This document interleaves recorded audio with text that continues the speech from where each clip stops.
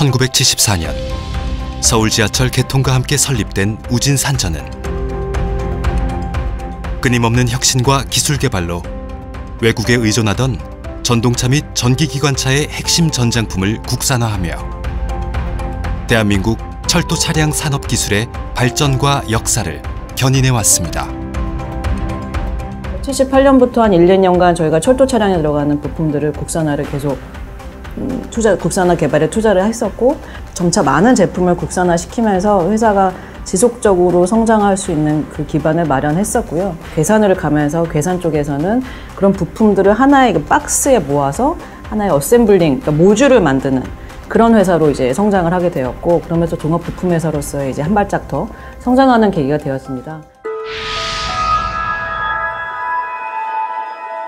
그 결과 우진산전의 기술력은 해를 거듭할수록 막강해졌고 2000년대에는 본격적으로 철도 차량 완성차 제작에 나서게 됩니다.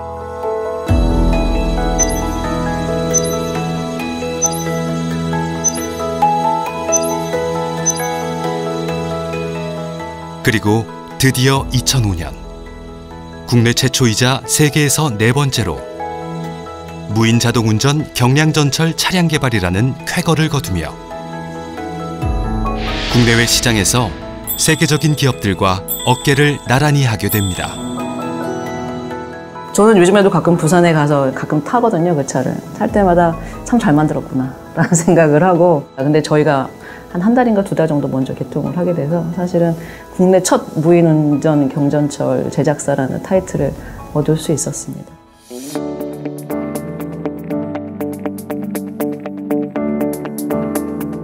철도 차량 분야 토탈 솔루션 기업으로서의 자부심과 책임을 숙명으로 여기는 명장 김영창 대표는 현실에 안주하지 않습니다. 그동안 축적해온 노하우와 기술력을 쏟아 미래 산업의 중추가 될 친환경 교통 및 신재생 에너지 분야에 주목하며 지속 가능한 경영에 박차를 가하고 있습니다. 우진산전이 현재까지는 국내 사업에 주로 집중을 하면서 사업을 해왔다고 하면 앞으로는 해외도 나가고 이제 우주로도 나갈 수 있는 더욱더 큰 회사로 이제 발전하기 위해서 명문 장수 기업으로서 최선을 다하도록 노력하겠습니다. 앞선 기술로 미래를 열어간다는 자신감. 기술의 차이가 안전의 차이를 만든다는 신념. 지금 이 순간에도 우진산전의 기술은 도심을 달리며 새로운 역사를 만들어가고 있습니다.